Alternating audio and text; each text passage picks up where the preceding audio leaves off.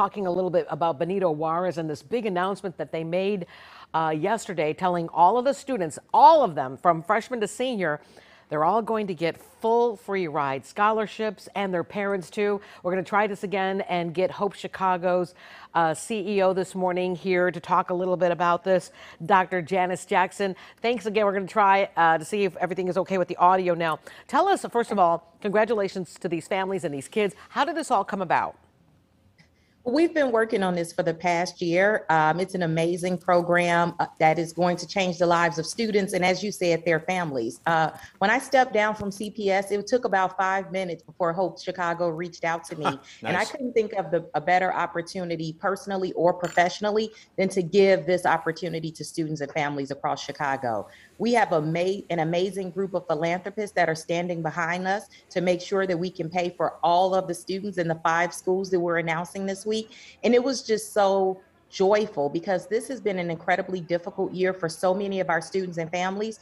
And I think they were in disbelief when we made the announcement because so much bad has happened and finally something really good happened for everybody. So much bad has happened. We know that in this lifetime here in America, if you don't have a college degree, you are behind everybody else in many cases. And I, you yeah. know, I was reading about your group. Uh, 90% of ninth graders, according to Hope, want to go to yes. college. Only 27% actually graduate. Is it mostly about the money? It is mostly about the money. And I'm glad you pointed that out because what I want people to know is that students on the South and the West Side, they have the same aspirations that our children have. The difference is they don't have the opportunity. And sometimes when they do get access to the opportunity, finances are the biggest issue that they return home. And sometimes it's not just tuition, it can be a small thing. I lost count during my time as a principal and working as an educator in CPS when kids would come home for the smallest bill, something that we could solve by writing a check or sending a wire transfer. For many of our students, it's the end of their education journey. You know, you mentioned that there will be other scholarships, other schools that you're going to make these announcements to. Yeah. Uh, are you saying where in Chicago you're going to do this? Uh, what other oh, schools you're going to do this with? It's all going to be a big surprise. The element of surprise we think is really important. Um, of course, I got a lot of phone calls from some of my principal friends yesterday once the announcement started, letting me know that they were ready if I wanted to stop by.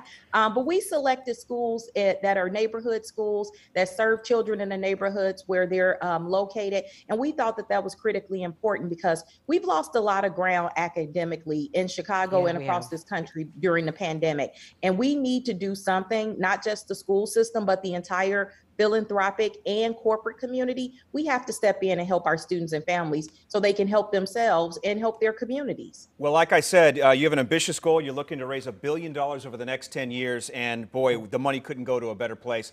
Dr. Janice Thank Jackson, I'll tell you another thing too. It's nice for Anina and I to be able to talk to you about something that is not, you know, mired in controversy I, yeah. or something heavy because it's CPS. Yes. It's nice to talk yeah. about something positive this morning. Yes. Thank you. I really feel like I'm living in my passion. I get to do what I love, and I have to be honest, minus a little drama. So thank you for that. we bet. You. All right. Thank you very much, Dr. Janice Jackson.